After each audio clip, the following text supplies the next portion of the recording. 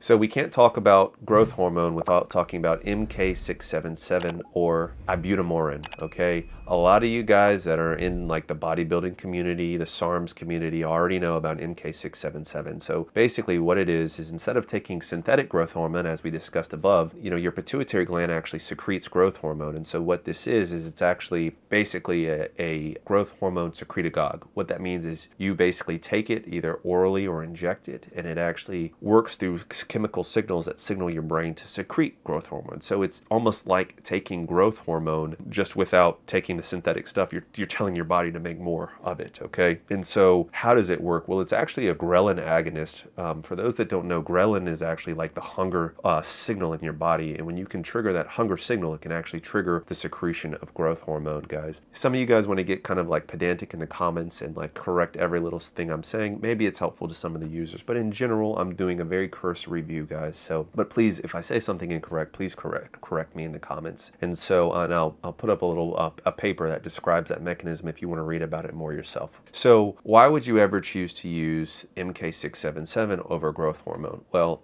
access and cost are the main things. And so you can basically go onto any SARM's website and order MK677 and I think I said that this is actually sub-Q. I don't think this is actually injected. I think it's it's primarily orally uh, taken, and it's either. I mean, I'm sure that there is some sort of sub-Q formulation that subcutaneous, but most of the time it's either a liquid or a pill forms. From the cursory view, like review that I've done, guys, I've never done MK677. I would never recommend it, but that's kind of besides the point. And so it is a fraction of growth hormone, and so you go to a SARM's website. I, I don't know. It's probably like probably less than a hundred dollars for a month supply. Okay, compared to like thousands of dollars for growth growth hormone, and then you don't need a prescription to order it, okay? But here's the caveat it's illegal to take it, at least in the United States, okay? So when you go to buy it, it is like not for human consumption it's for research purposes. So basically if you have lab rats and you're trying to do a study on mk677 you can order it for your lab rats. So if you go into a lot of like these sarms blogs it's like oh yeah my lab rat took this and gained like five pounds of muscle. So it's kind of a running joke but um so basically it is not for human consumption. So once again guys never do anything that's against the law okay? Why would you take this? What are the benefits? Well it has honestly the same benefits of growth hormone. You're increasing growth hormone levels in your body. Growth hormone is one of the major hormones that's responsible for recovery from all kinds of different injuries. One of the reasons why I recommend good sleep when you get injured is because when you get into deep sleep, guess what it triggers? More growth hormone secretion on a natural level, on a safe level. There's actually studies looking at this. There's actually quite a bit of data. And so, like, here's a study looking at hip fracture recovery. And you can see that taking MK677 expedited that process. Here's a study looking at neurogenesis or from a like central nervous system nerve repair aspect where you can see that it actually promotes more healthy nerve tissue. Here's a study showing improvement in like heart muscle perfusion, meaning the amount of blood going to your heart muscle. And so healthy blood flow is a key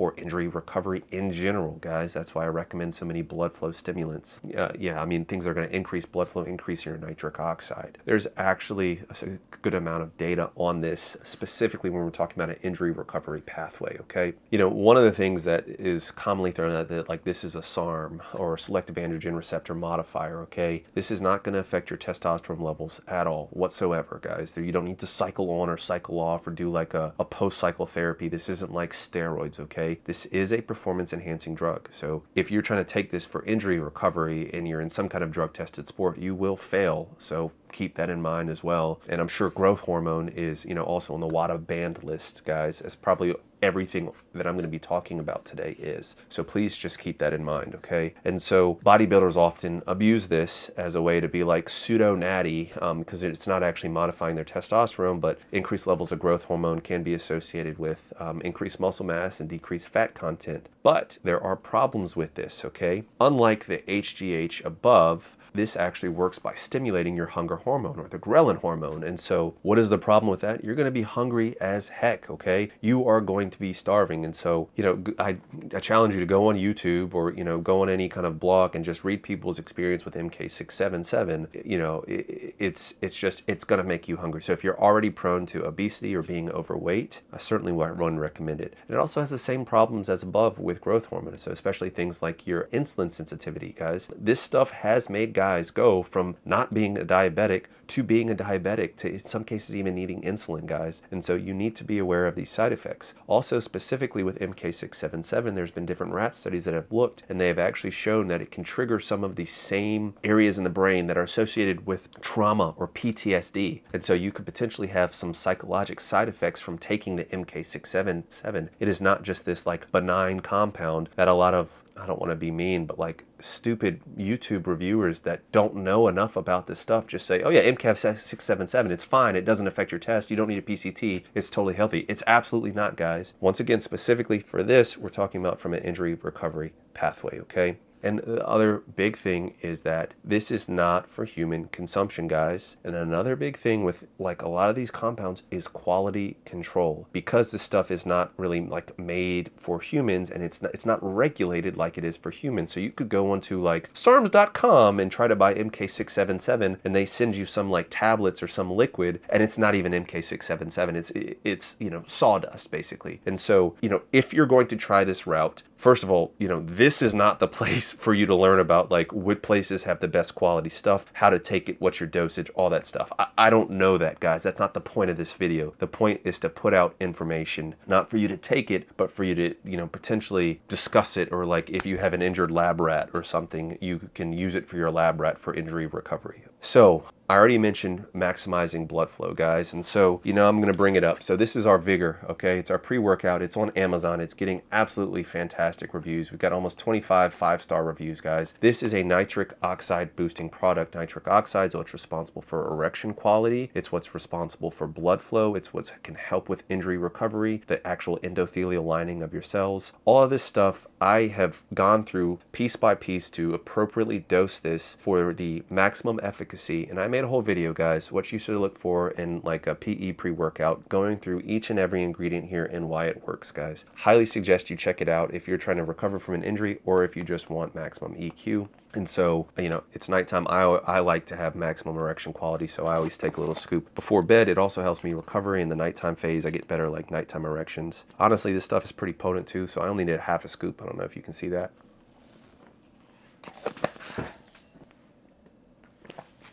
Good stuff. And then guys, we also have our virility here. Okay, so this is our actually basically our semen booster guys. It improves the quality, the quantity, the volume, and even the taste of your semen. So I have a video out on this. So if you're interested in learning more, check that out. It's also on leviathansupps.com, available on Amazon. Let's get back to it.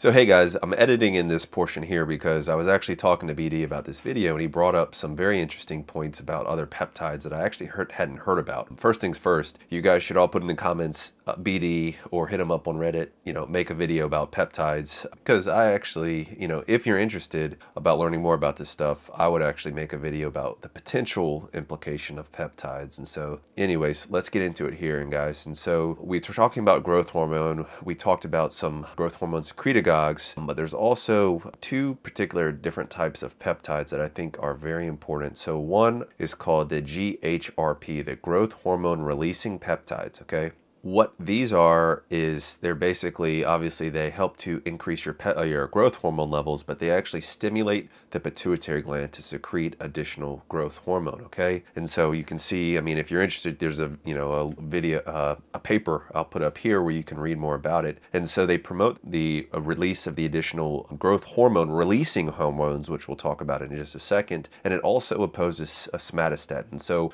what is somatostatin? Basically what you need to know about it is it actually limits your the amount of growth hormone you have. And so if your growth hormone levels are getting to an unnatural level, your somatostatin will kick in and try to knock down your growth hormone levels back to what should be kind of your status quo. So to prevent you from being super physiologic, okay? So what are some examples of these? Well, there's GHRP6, GHRP2, ipamorelin, and pramorelin, okay? Some people say ipamorelin and call it IPAM for short. I think that's stupid, but they probably think the way I say ipamorelin is stupid. So who's to say what's right, okay? So that's the first bunch, the growth hormone releasing peptides. And then the next important group that I think you need to know about are the GHRHs, or the growth hormone releasing hormones. So there's the growth hormone releasing peptides and the growth hormone releasing hormones, okay? And so these basically stimulate the body to not only synthesize, but also to release more growth hormone into the bloodstream. And so this is a little bit different because it's not focused in the pituitary gland. This is actually focused from the hypothalamus, which then tells the pituitary gland to secrete growth hormone by also by increasing the number of growth hormone releasing cells called the somatotrope. So it works on a slightly different pathway than just the growth hormone releasing peptides, okay? these GHRHs, like we're just talking about, they actually wouldn't do that much by themselves because you don't have that inhibition of the somatostatin. So if you just take like one of these, for example, is called like CJC 1295 is a very common, very popular one. If you just take this by itself, it's probably not going to do too much unless you take it with a GHRP as well, because you need something that's going to actually, once again, stop that somatostatin from limiting your growth hormone. So what are some examples of the GHRHs, okay? Well, we have Sermorelin, okay, CJC 1295, and then an important new one is called Tesamorelin, okay, and this is what I was actually talking with BD about. It's pretty interesting, but basically the FDA actually approved this drug. So when you have HIV AIDS and you go on like an antiviral drug, this antiviral drug can cause something that's called lipodystrophy or lipodystrophy, okay? And what that means is you have an abnormal distribution of actually fat, and it's it's uh, actually along like the viscera or basically along your organs. So it's not just like in your abdomen, like visible like belly fat. This is like internal on your organs, which can be very harmful and so what they found is that when they gave these specific patients, HIV patients, getting antiviral drugs that had this, they were able to like unbelievably re reduce the amount of body fat, specifically like that visceral fat that they had by like astonishing amounts. Like if I'm not mistaken, it's like 75, like 50 percent. I mean, just like remarkable reduction in this lipodystrophy.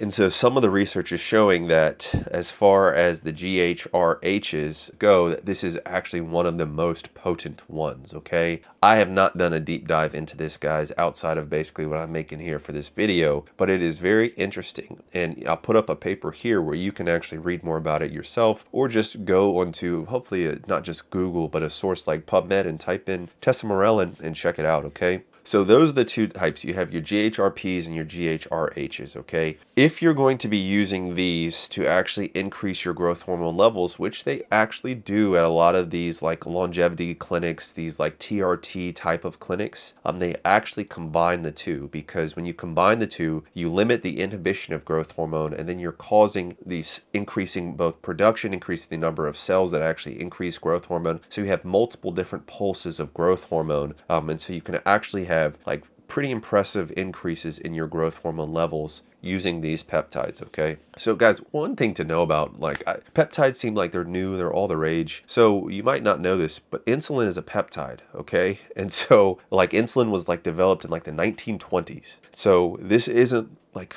brand new technology. It's just becoming more popularized because of these different, I mean, honestly, these different peptides, these different amino acid chains that are developing. But anyways, this isn't like brand new, like hocus pocus science, guys. I mean, it's, it's real science. And so, like, if you were to take like a common combination that you can find is something called the CJC uh, 1295 and then the ipamorelin. And so, if you use these combined, typically you take it before bed, fasted on an empty stomach. And so, guys, this isn't one of those videos where be like, oh, this is how you dose it, this is how you take it, blah blah blah. I don't, I don't know how to do that. I've never done this. This is not going to be one of those videos where, uh, you know, I go through any detail with that. There are other videos, there are other papers where you can get dosing, but I'm just talking about in general. Okay, you dose it before before bed. You want to be fasted because anything that's going to actually spike your insulin is going to make this peptide injection uh, basically null and void. And that basically goes for, as far as I know, most peptides. But, you know, somebody correct me if I'm wrong in the comments. And so, what are some of the other benefits of taking this? Well, it, you know, any other benefits of growth hormone. So, like hair, nails, cognition, lean muscle mass, and sometimes decreases in fat. Along with that, sometimes increases in appetite. You do want to be a little careful anytime you're messing with growth hormone because it can affect your insulin sensitivity.